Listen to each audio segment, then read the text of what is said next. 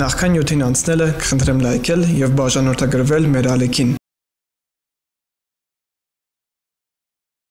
Հրապարակվել են կադրեր, թե ինչպես է Ադրբեջանը Հայաստանի Հանրապետության հանձնում 15 ռազմագերիներին։ Ադրբեջանական լրատվամիջոցները հրապարակել են գերեվարված հայ զինծառայողներին Հայաստան հանձնելու կադրերը։ Հիշեցնենք, հունիսի 12-ին Նիկոլ Փաշինյանը Facebook-յան իր էջում հայտնել էր, որ Հայաստան է վերադարձել 15 գերի։ Էրդողանը ժամանել է Բաքու։ Թուրքիայի նախագահ Ռեջեփ Թայիպ Էրդողանը հունիսի 15-ին պաշտոնական այցով ժամանել է Ադրբեջան։ Բաքվի կենտրոնում գտնվող հյուրանոցի շուրջ, որտեղ հանգրվանել է Թուրքիայի առաջնորդը, հերթապահում է անվտանգության ծառայությունը։ Կառավարությունը ռեկորդային տեմպերով ավելացնում է պետական պարտքը։ Ժողովուրդ։ Ժողովուրդ օրաթերթը գրում է. Բյուջեի ծախսերը կատարելու համար կառավարությունը ռեկորդային տեմպերով ավելացնում է պետական պարտքը։ Վերջին 1 տարվա ընթացքում Հայաստանը 1 միլիարդ 370 միլիոն դոլարի պարտք է կուտակել։ Տնտեսության վիճակը վատ է, պարտքն էլ ավելանում է եւ դա ծանր բեռ է լինելու։ Այդ գումարից 1 միլիարդ 370 միլիոնը ձևավորվել է միայն վերջին 1 տարվա ընթացքում։ Գրեթե 29 տարվա ընթացքում Հայաստանը ընդհանուր առմամբ կուտակել էր 7 միլիարդ 403 միլիոն դոլարի պարտք,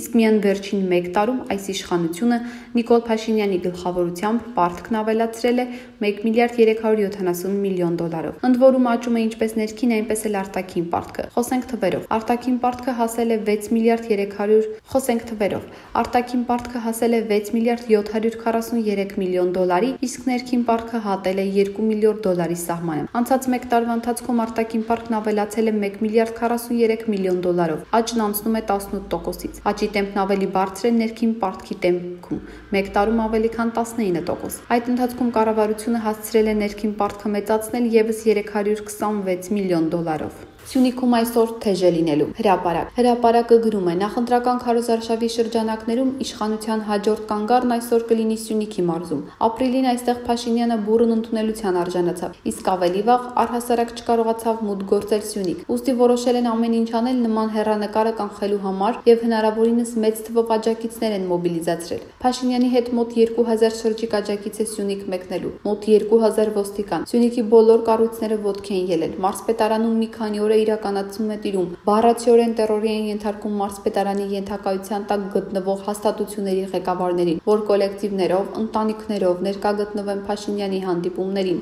հակառակ դեպքում հրաժեշտ կտան պաշտոներին։ Ամենածանր բեռը ոստիկանության վրա է դրված։ Բրոնիա են արվել բոլոր մասնավոր ուղեփոխադրող ավտոբուսները, որոնք այս օրերին սպասարկում են նաև այլ ուժերի քարոզարշավին։ Մարզպետ Մելիքսիտ Պողոսյանը անձամբ դպրոցի տնօրեններին ասել է, որ դպրոցի կոլեկտիվով աշակերտներով հանդերձ տպավորիչ պետք է դիմավորել Նիկոլեն Փաշինյանին։ Սրան վրադիր երեք դատախազությունը հաղորդագրություն տարածեց Գորիսի քաղաքապետի նկատմամբ նախաքննությունն ավարտելու եւ գործը դատարան ուղարկելու մասին։ Մանրամասները թերթի այսօրվա համարում։ Այսօր իմ աշխատանքային վերջին օրն է։ Տիգրան Սեյրանյան։ Ուկրաինայում Հայաստանի Հանրապետության արտակորք եւ լիազոր դեսպան Տիգրան Սեյրանյանը գրում է. Այսօր իմ վերջին աշխատանքային օրն է։ Ուկրաինայում Հայաստանի Հանրապետության արտակարգ եւ լիազոր դեսպանի պաշտոնում։ Ավարտվում է Ուկրաինայում իմ համեմատաբար կարճաժամկետ, բայց իրադարձություններով հարուստ առաքելությունը։ Չնայած COVID-19-ի համավարակով պայմանավորված սահմանափակումներին, միասին մենք կարողացանք մի շատ գեղեցիկ մշակութային ծրագրեր իրականացնել, ընդլայնել եւ ամրապնդել դեսպանություն համայնք կապը։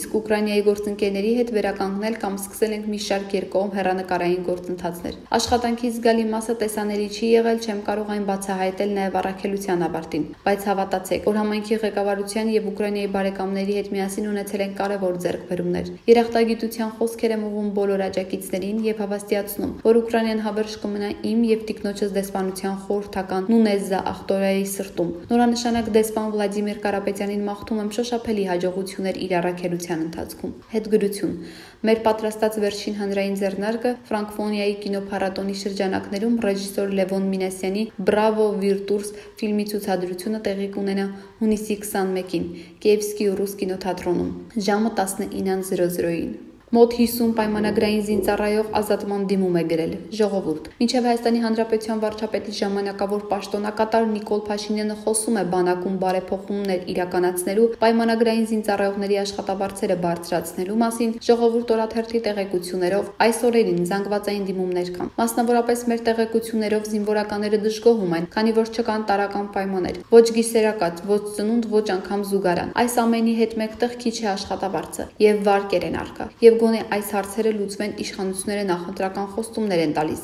իսկ բանակը դատարկվում է։ Ժողովուրդ օրաթերթի տեղեկություններով այս օրերին պայմանագրային զինծառայողները մոտ 50 հոգի արդեն դիմումներ են գրել։ Պարզաբանումներ ստանալու նպատակով զրուցել են Գեղարքունիքի կորպուսի հրամանատար Հարությունյանի հետ։ Վերջինը հաստատել է, որ նման դիմումներ առկա են։ Գրում է թերթը։ Մանրամասները այսօրվա համարում։ Քաղաքացիական պայմանագիր կուսակցությունն օգտագործում է վարչական ռեսուրսը մրցակցային առավելություն ստանալու համար։ Դանիել Լիոնիսյան։ Հանրային խորհրդի անդամ Դանիել Լիոնիսյանը Facebook-յան իր էջում գրել է. Գեղարքունիքի մարզպետարանը վարչական լծակների օգտագործմամբ 3 ժամը 6-ին Սևան քաղաքի մշակույթի տուն է հրավիրել քաղաքի ու հարակից տարածքների դպրոցների անձնակազմերին։ Միջոցառումը սակայն ոչ թե աշխատանքային էր, այլ անթակուց քարոշչական, ու դրան մասնակցել են մարզպետ Գնել Սանոսյանը եւ падգամավոր Հայկ Սարգսյանը։ Թեև տեղում աշխատած մեր խումբը չի հայտնաբերել ստեղծել պարտադրանքի փաստեր, սակայն ակնհայտ է վարչական լծակներով դրա կազմակերպմանը։ Նպաստման փաստն ու որոշիչ ուսուցիչների դժգոհությունն այդտեղ լինելու կապակցությամբ։ Այլ կերպ ասած, թեև արկա չէ քրեական օրենսգրքով արգելված արարքը, այնուհանդերձ պետք է արձանագրել, որ քաղաքացիական պայմանագիր կուսակցությունն օգտագործել է վարչական ռեսուրսը մրցակցային առավելություն ստանալու համար։ Ցավով պետք է նշենք, որ նմանատիպ դեպքեր նկատվել են նաև այլ մարզերում։ Բացի այդ, հաջող մարզպետարանների աշխատակիցներն աշխատանքային ժամերին նկատվում են իշխող կուսակցության քարոզչական միջոցառումներին։ Այս ֆոնին զարմանալի չէ, որ 1.5 ամիս առաջ Իմ քայլը խմբակցությունը կտրականապես հրաժարվեց վարչական պատասխանատվություն սահմանել այն պաշտոնյաների նկատմամբ,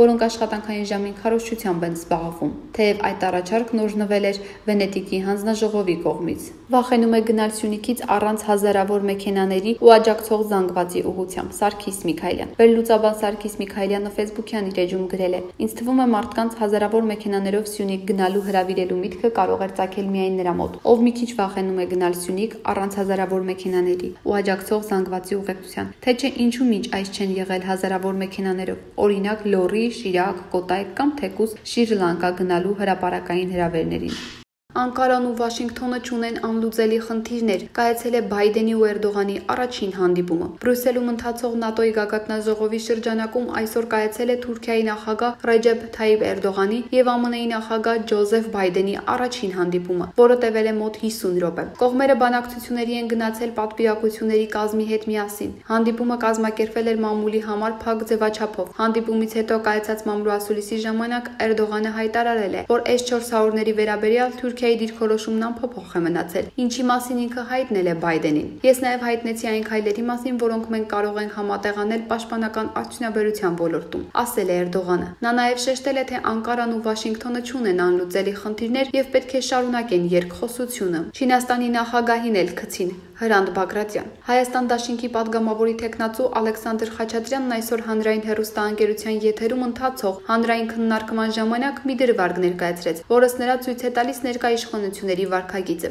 Հայաստանի Հանրապետությունում վստահության ճգնաժամի մասին չեմ էլ խոսում։ Դա ամենաֆունդամենտալ ճգնաժամն է, որը մենք ունենք։ Ես որպես մասնավոր ոլորտի իրավախորհրդատու գիտեմ դա ինչ է։ Երբ դու հարաբերակցվում ես կառավարությունների հետ։ Ես երկու անգամ դեպքա եղել գնացել եմ փոխնախարարի հետ, բան եմ պայմանավորվել ներդրողի հետ կապված։ Այդ փոխնախարարին զանգել ասել է, ես վաղը գործի չեմ։ Պատմեց Խաչատուրյանը։ Նրա խոսքին դրացրեց Ազատության կուսակցության ղեկավար ՀՀ նախկին վարչապետ Հրանտ Բագրատյանը։ Այդ ցավը տանեմ։ Չինաստանի նախագահին Սի Ցիպինին էլ գցին, պայմանավորվան, չարեցին։